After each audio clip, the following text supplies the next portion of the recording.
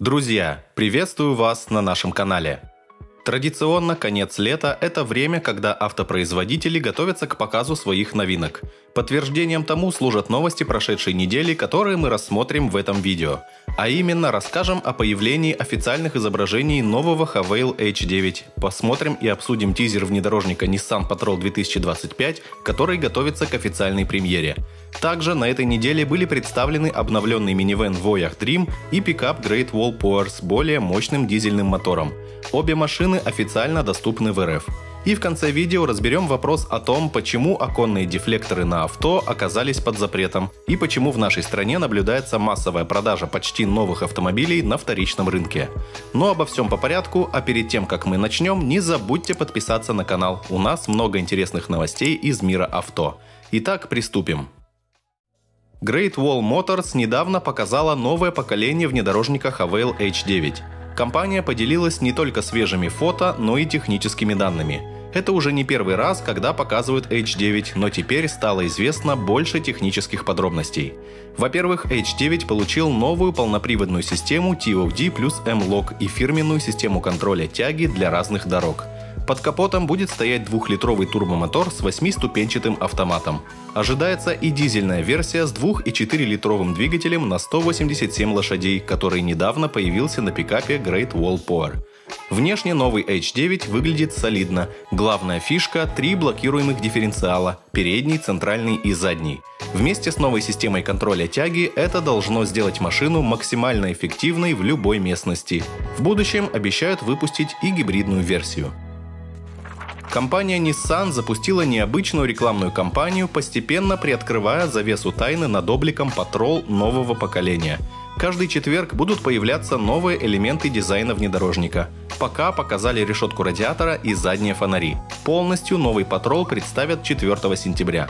Похоже, что новинка сохранит знакомые очертания, но получит современные детали. Ожидается, что спереди появится фирменная решетка V-Motion с сотовым узором – Сзади будут оригинальные фонари, которые соединит светодиодная полоса с логотипом Nissan посередине. Технический патрол будет похож на Infiniti QX80, они будут построены на одной рамной платформе. Главная новость – прощание с V8. Вместо него под капот поставят более современный V6 с двумя турбинами. Скорее всего, это будет 3,5-литровый мотор от вышеупомянутого QX80.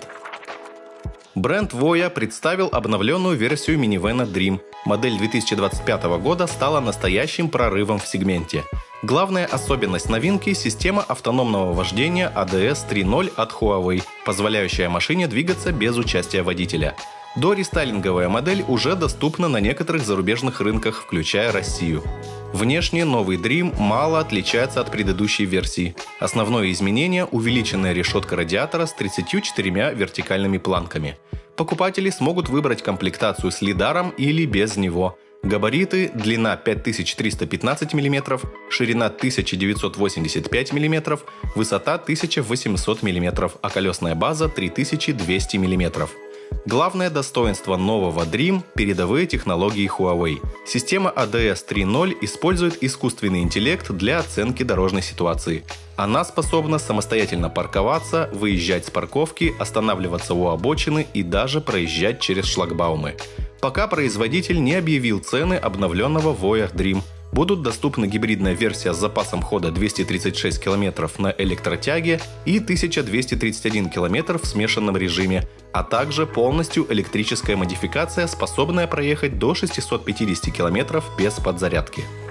Great Wall обновил пикап Canon, известный в России как Power – Теперь модель 2025 года получила новый турбодизельный двигатель объемом 2,4 литра. Это существенное улучшение по сравнению с двухлитровым мотором, который сейчас доступен российским покупателям.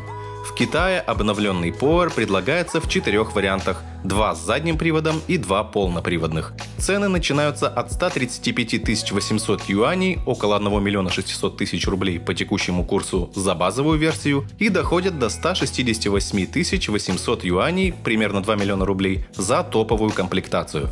Внешне новая версия мало отличается от предыдущей, сохраняя свой брутальный вид. Главное новшество – это двигатель. 2,4-литровый турбодизель выдает 184 лошадиных силы и крутящий момент 480 ньютон-метров. Он работает в паре с 9-ступенчатой АКПП. Расход топлива составляет всего 8,5 литра на 100 километров. Интересно, что мотор специально адаптирован для работы в горах. Улучшенная система охлаждения и мощный аккумулятор обеспечивают легкий запуск в сильный мороз. В салоне 7-дюймовая приборная панель и 12,3-дюймовый мультимедийный дисплей. Есть кожаные сиденья с электроприводом. Автомобиль оснащен функцией автоматической парковки и полным приводом с электронным управлением.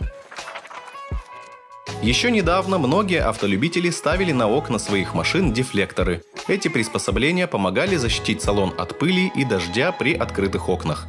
Однако сейчас большинство водителей уже избавились от них. Почему же установка дефлекторов оказалась под запретом? Как объяснил инспектор ГАИ, дефлекторы не были предусмотрены изначальной конструкцией автомобиля. Хотя они и выполняют полезную функцию, их установка влияет на аэродинамику машины. Кроме того, из-за изменения воздушных потоков при движении в салоне становится шумнее. Есть два способа крепления дефлекторов – наклеивание на кузов или установка под уплотнители стекол. В первом случае они могут оторваться на ходу, а во втором мешать нормальной работе стеклоподъемников. Использование несертифицированных дефлекторов может обернуться штрафом в 500 рублей по статье 12.5 КОАП. При повторном нарушении сумма штрафа возрастает до 5000 рублей. В худшем случае водителя могут лишить прав на срок от 1 до 3 месяцев. Важно также отметить, что машина с установленными дефлекторами не пройдет техосмотр. Таким образом, несмотря на кажущуюся пользу дефлекторов, их установка сопряжена с серьезными рисками для водителей. Штрафы, проблемы с техосмотром и потенциальные неприятности на дороге – все это заставляет задуматься, стоит ли игра свеч. Поэтому многие автовладельцы предпочитают не рисковать и обходиться без этих дополнительных устройств. И под конец. На популярных площадках по продаже автомобилей появилось много предложений машин с пробегом от 150 до 3500 километров. Эти почти новые авто вызывают вопросы, почему их так быстро продают. Инспектор ГАИ поделился основными причинами этого явления. Часто такие машины попадают на рынок после мелких ДТП, их подкрашивают и пытаются быстро продать. Также нередко продают кредитные авто. Владельцы, не справившись с выплатами, стараются избавиться от долга. Бывает, что машины с небольшим пробегом привозят частные предприниматели для перепродажи. Иногда это неликвидные варианты от дилеров или авто, участвовавшие в тест-драйвах. Интересно, что таксопарки тоже продают почти новые машины. Купив китайские модели и разочаровавшись в них, они стремятся быстро их реализовать. Сейчас так продают и востребованные модели. Бывает, что реальный владелец, купив машину по рекламе, разочаровывается и пытается ее продать. Что ж, на этом у меня все. Обязательно делитесь вашим мнением в комментариях под этим видео. И не забудьте подписаться на канал, чтобы оставаться в курсе интересных новостей из мира авто. Спасибо за просмотр и всем удачи!